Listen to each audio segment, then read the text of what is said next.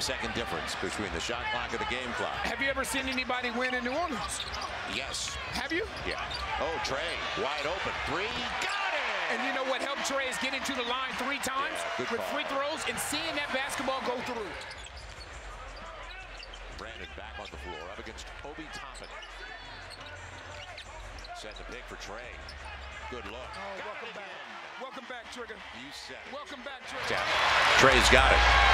He's got Brandon over to the left. He wants to go himself. And Yes, sir! What a take.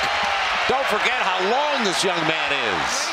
Again, it always helps, and I can speak to this coming off that bench, when you get to the line early, because now you get an opportunity to see that ball go through. Can't stop at four, though. So or Walker rather, just checked into the game, and Trey gets the loose stuff. He's Pull got up, Brandon. pull up, He's going to pull pull up. up for three. Pull up. And again. Incredible. Zone has not been great.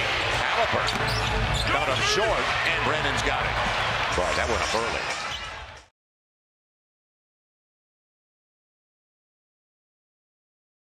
Said, hold, hold on, I, I see something.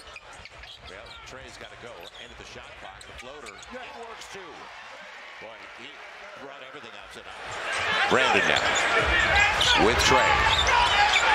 He, he wanted that matchup right there. Great pass. Set it up beautifully. Trey. Bang! What a way to finish it. Incredible first half. Trey catch and shoot time. Welcome back. Continues. Wow. It's lost. It's a turnover. And Trey got back. Can he save it? Yes, he can. Great hustle.